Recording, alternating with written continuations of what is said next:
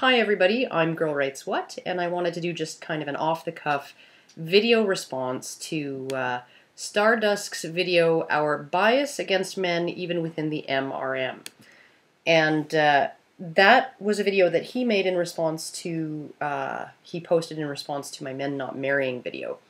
And in it, he kind of examines uh, some things that I think we all need to be aware of in this movement, uh, one of which is that uh, there seems to be, even here, uh, sort of a systemic bias uh, against men or in favor of women. I guess it's it's really six of one, half a dozen of the other, um, when you put it that way. But um, uh, it is really a pervasive problem.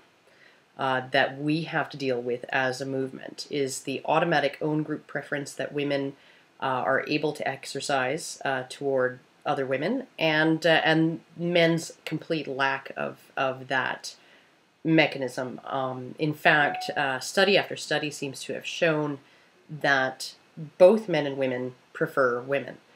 And uh, I think this is not something that we're going to change on a social level uh, or a cultural level because, frankly, when you think about the roles that men have had to have through history, um, you know, even going back a couple million years, uh, when males had to compete against other males, uh, often quite violently, uh, for a shot at mating.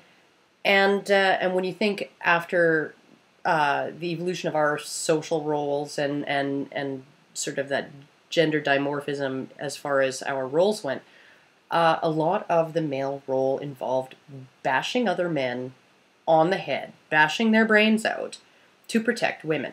And I think it would just be psychologically impossible for men to have ever done that as their job, as their expected role, if they had a mechanism wherein they automatically preferred their own gender over the other.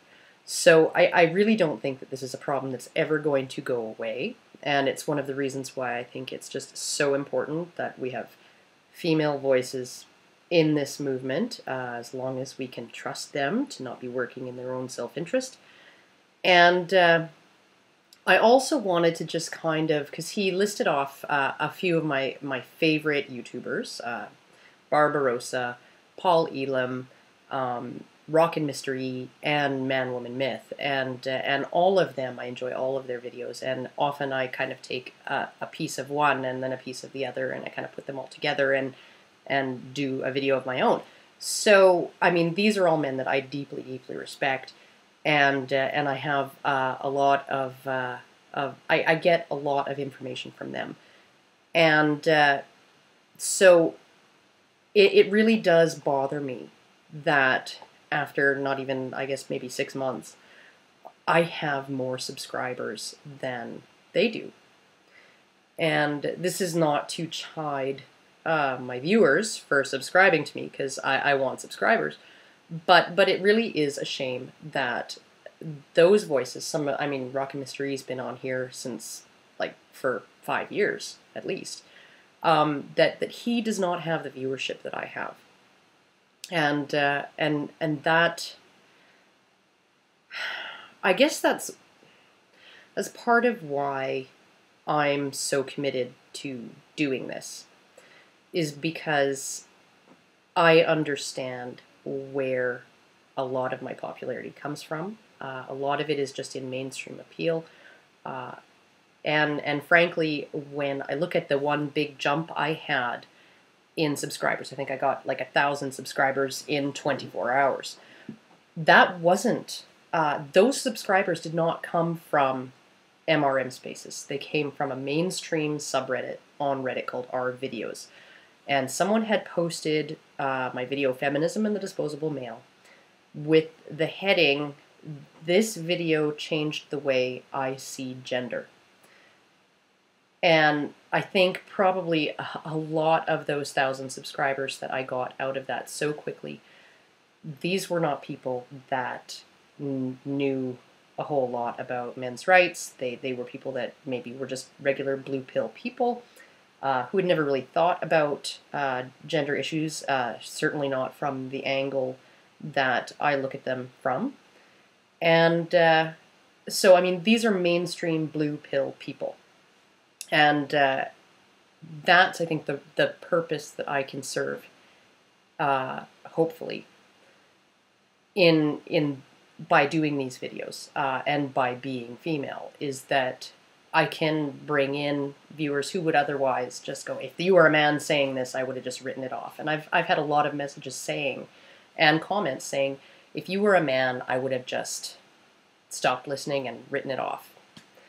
And so I think, and I've also had other people say, you're the Bill Nye of the men's rights movement, which, as annoying as Bill Nye is, uh, he does serve a purpose as far as introducing science to uh, kids who might otherwise not be interested in it. And that's hopefully what I can do uh, for the men's rights movement is introduce it in a non-threatening context that appeals to the blue pill public that will kind of wake them up and make them look at things from another perspective, another point of view. So, and then hopefully I can get them to watch all of Barbarossa's wonderful videos and all of uh, all the entire Man Woman Myth series, which is just stunning and just beautifully produced and extremely based in fact. So that's what I'm hoping to, to really do. That's the role that I'm hoping to play. And, and the fact that I'm a woman, I, I totally get that that's part of the reason why people like me so much. So there's that and uh, and there's also that that I'm not really sure that the bias that Stardusk sees is actually within the MRM. I think maybe it's it's uh, that mainstream uh, people just kind of stumbled across my videos and went, "Wow!" And uh, because I'm a woman, they just were more open to to even just listening. So, yeah, now, another thing he mentioned, um, which just kind of made me smile, was that he he was wondering if maybe I'm just wired uh, a little bit more like a man than like a woman, and and I would have to say that that's probably true. Um, right from the time that I was little, and uh, it, it, definitely plays out now. I've even uh, just I, I see examples of uh, that in the way people interact with me. Um, I mean, I even get asked uh, by female servers where I work if I will walk them to their car at night. Now, this always strikes me as just hilarious because, number one, like your car is what, 40 feet away within plain view of the windows I know it's not the nicest part of town, but what do you think's going to happen to you in the 18 seconds it takes you to walk that?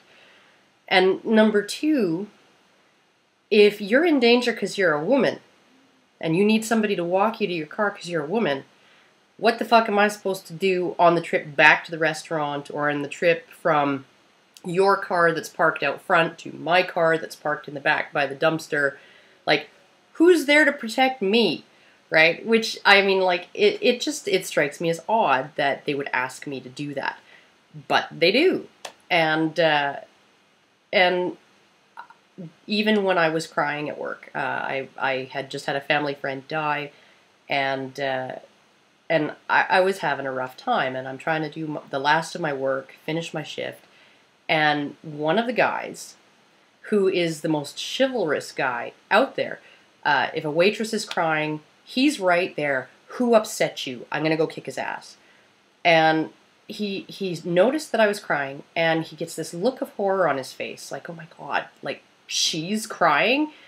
And and he just kind of mumbled something like, It's okay, man, under his breath, and, and ran the other way.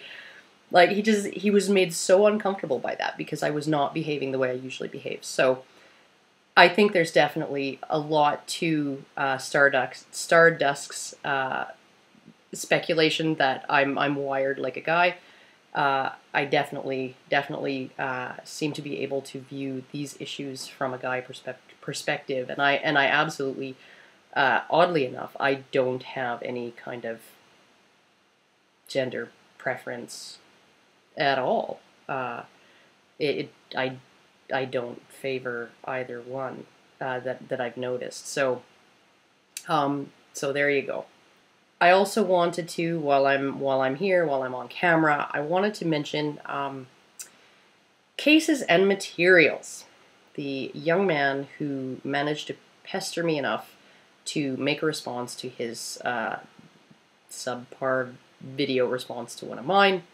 Um, now, it's come to my attention that the response he made to my response to his response, um, which I think I only watched about 45 seconds of it, and then by the sixth ad hominem, I, I was just like done with it. Uh, I, I'm not going to waste my time on this.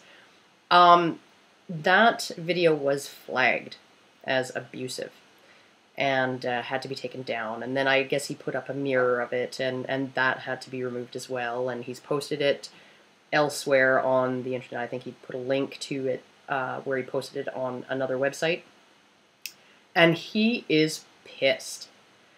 And frankly, I, I don't know that I blame him. Um, you know, he seems to be more mad at me uh, now, or he, he was more mad at me after I made him the response that he was demanding. Uh, so he, he made this other huge, uh, ridiculous video that I, I've heard about it, but I haven't really watched it. And, uh, and he's mad that his voice was silenced. And frankly, I, I, I really don't condone uh, him having to take that down. I, I think that uh, everybody should have a chance to say what they want to say, even if they're being stupid or they're being jerks. And uh, and so, you know, if we want to, if we want to stay true to uh, sort of a an ethic of, of free speech, then then really that kind of thing it just it bothers me. And on top of that, when when people go and watch a video like that, uh, it doesn't really do a whole lot to discredit me. It, it discredits the person who makes a video that apparently has nothing relevant to say other than ad hominems and stupid visual jokes of superimposed poop over my mouth or whatever the hell. So I would have been perfectly happy to let that video stand on YouTube and kind of give everybody else out there uh, a look at what my most vehement detractors are like. And, uh, and so I'm kind of bummed out and disappointed that it got taken down. But uh, yeah, because even if you're a jerk and even if you're stupid, you should be able to say your piece. So anyway, how I uh, I just wanted to just kind of do a, a quick one. Um, it didn't turn out to be quite so quick, but uh, and I got other things to do, so I am out of here. See you later.